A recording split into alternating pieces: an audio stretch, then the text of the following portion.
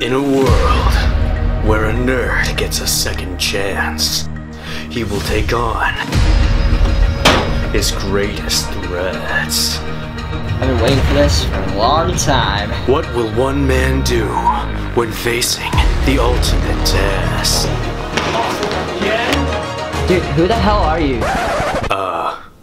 I- I'm the the trailer narrator voice guy. Dude, don't talk about my movie. I'm sorry. I'm sorry. I was just. I was. Did you just get out of here? I, We're sorry fine. about him. I, I can narrate my own movies. Ben, hello.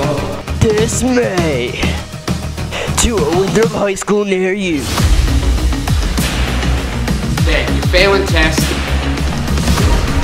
Endgame.